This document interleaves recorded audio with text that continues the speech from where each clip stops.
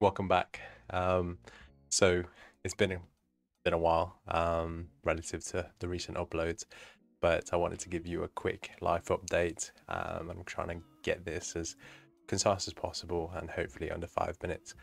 But first things first, um, the eye looks disgusting, I know, but it's all fine, I guess. Um, I just strained myself probably from sneezing too hard or blowing my nose too hard or the gym um, but it does look a bit intimidating. So apologies for that.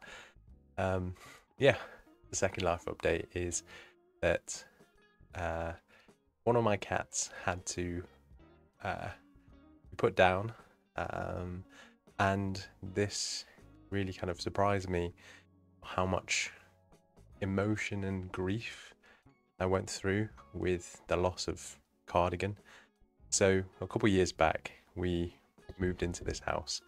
Um, my partner at that time, uh, we moved in with our two cats, and this little stray that with a red collar, they've started to come in and steal our cat's food, and then slowly she became more of a regular part of the family here, kind of dominating and making sure that she had her sunny spots in the in the house.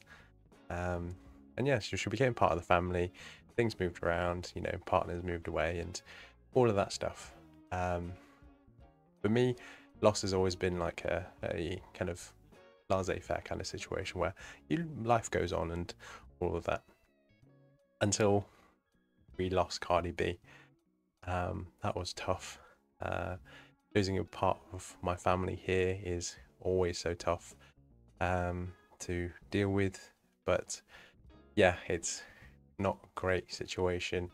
She um, was relatively young as a cat, and we wanted to make sure that she was fine because she came in with a scratch on her eye that developed into an infection.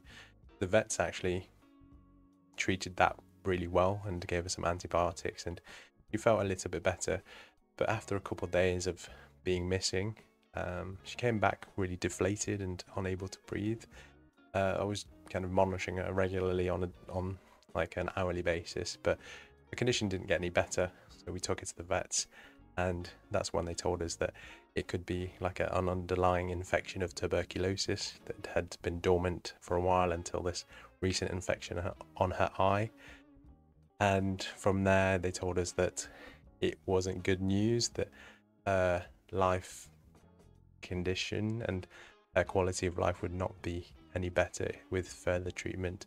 In fact, it's going to take some time for her to recover and she's she was in quite a lot of pain. She was not acting herself and so we had to take the dreaded decision to kind of put her to sleep which comes with so many different kind of aspects of guilt and grief. And that's what I've been dealing with for the last couple of weeks. Um, but again we obviously move on.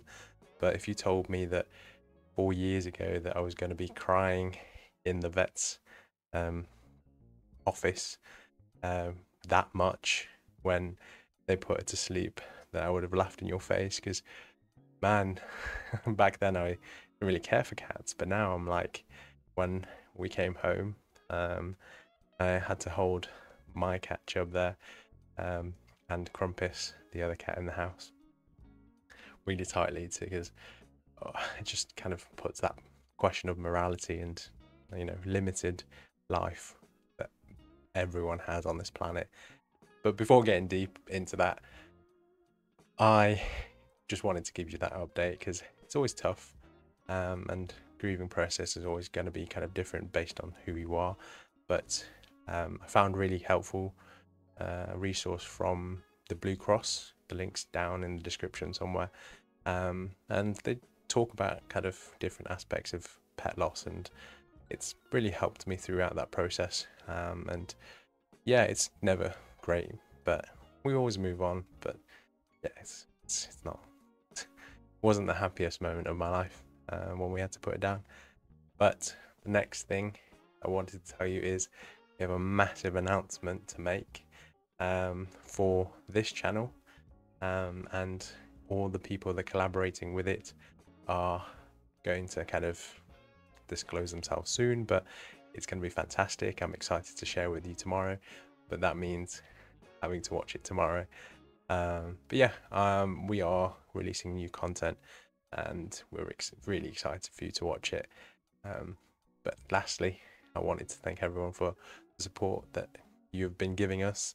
Um, this channel has grown from like 30 subscribers to nearly 10,000 in the last like three weeks, which is amazing. Um, so I can't thank you guys enough.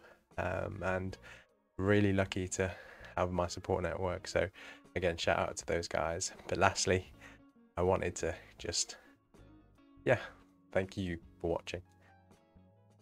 Anyway, I will see you in the next one.